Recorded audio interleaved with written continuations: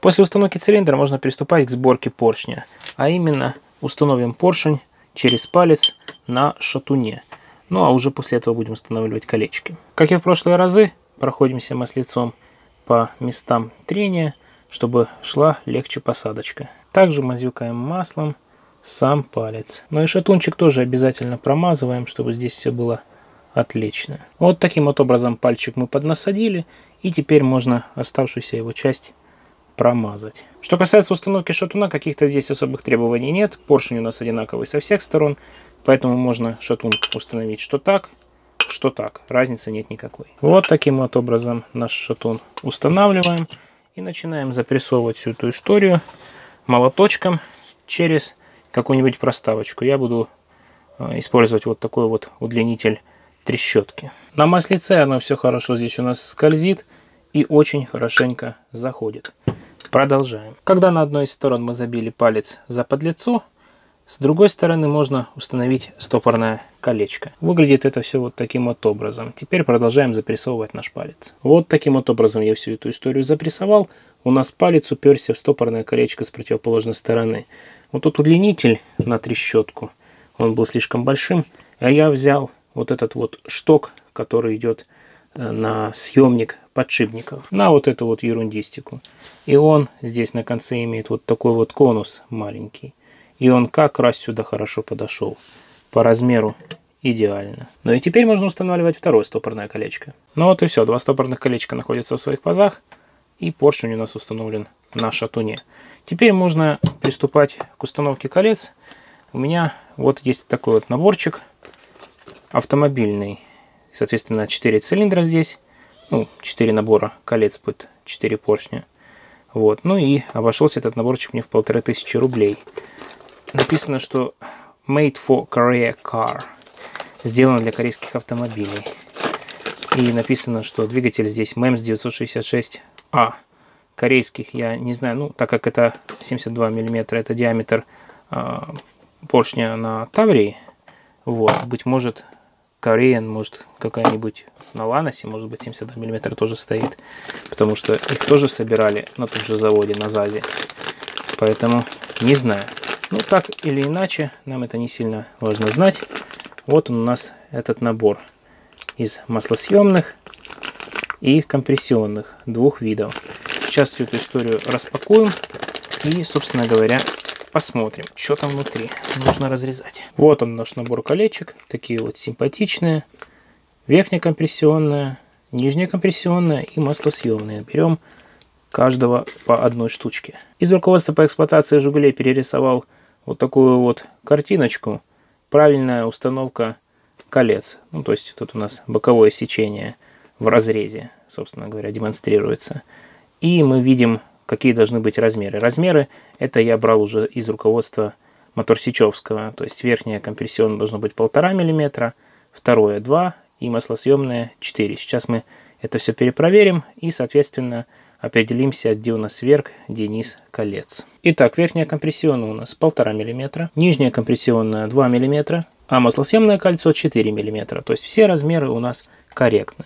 Что касается профиля компрессионного, он просто прямоугольный. Профиль нижнего компрессионного кольца такой же самый прямоугольный, только еще с вот таким вот вырезом. И получается вот такая вот история. Профиль маслосъемного кольца выглядит вот таким вот образом. И верхняя и нижняя часть никак друг от друга не отличаются. И если компрессионные кольца разместить согласно вот этой вот схеме, то на верхней их части будет надпись «ГРОК». И там, и там. Больше надписей на кольцах нет нигде. То есть верх у нас подписан. А вот на маслосъемном у нас никаких надписей нет, поэтому можно устанавливать хоть этой стороной, хоть этой. Уже по привычной для нас схеме смазываем все благополучненько маслицом.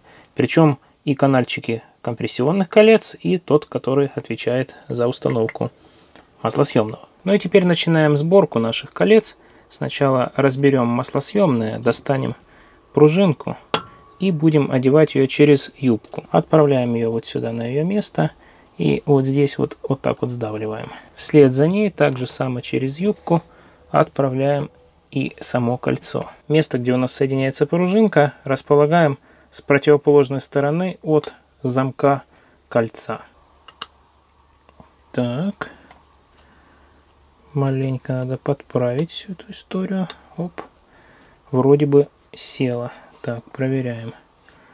Да, колечко наше маслосъемное находится на поршне. Отлично. Теперь берем нижнее компрессионное колечко и перед его установкой обязательно проверяем профиль, чтобы вырезом кольцо смотрело вниз.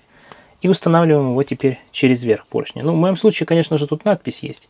Но у вас, если надписи нет, то обязательно проверяйте. Вот тут нужно действовать очень аккуратно, чтобы и кольцо не слезло через верх, да, чтобы не соскочило, и чтобы оно не сломалось.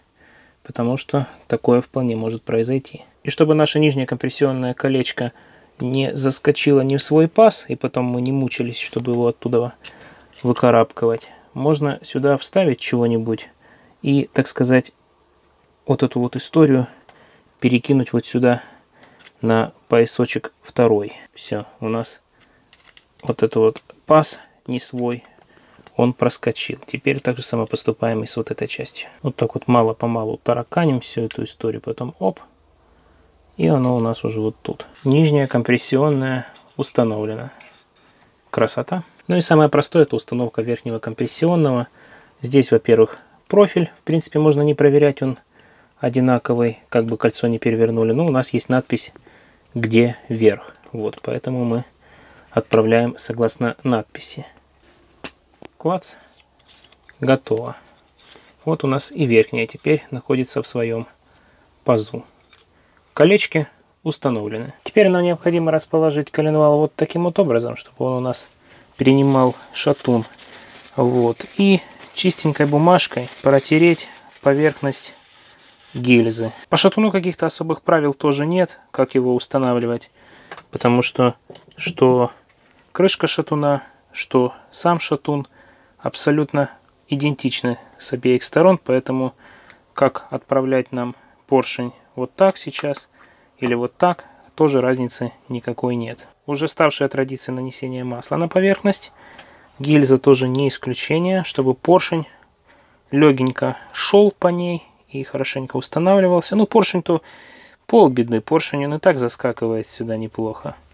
А вот, чтобы кольца хорошенько двигались, вот это да. Опять-таки мазюкаем поверхность колец и поршня маслицом. А теперь мы берем вот этот вот специальный инструмент, обжимка поршневых колец, и накидываем ее на наш поршень. Сперва хорошенько разжимаем всю эту историю, а затем отправляем внутрь наш поршень с колечками. И вот приблизительно вот до такого состояния, а вот по боковой части покажу, вот до такой части его обжимаем. То есть, чтобы у нас юбочка торчала. А, ну и, конечно же, немаловажно, это так я просто показал, как это делается. Необходимо кольца расставить под 120 градусов. Ну, получилось у нас что-то вроде вот этого. Теперь опять-таки размещаем наши колечки с поршнем вот этот вот инструмент. И очень важно не перепутать тоже сторону этого инструмента, чтобы у нас трещоточка под шестигранник смотрела вверх. А то потом придется переделывать. Дальше после установки начинаем вот эту всю историю затягивать. Так, ну вроде бы все поджали. Вот так вот это выглядит сверху. Вот так вот это выглядит снизу. То есть плюс-минус у нас все получилось. И отправляем вот таким вот образом наш поршенек. Естественно, с той стороны устанавливаем его так, чтобы у нас сразу же шатун садился на коленвал в случае чего. Далее, контролируя наш контур, маленько начинаем подстукивать всю эту историю молоточком, чтобы у нас поршень маленько садился. Но необходимо всегда проверять вот этот вот контур, чтобы у нас какое-нибудь кольцо не заделось случайно за гильзу, и мы стучали и не сломали его. Ну, в первую очередь, конечно же, маслосъемное имеется в виду. Так.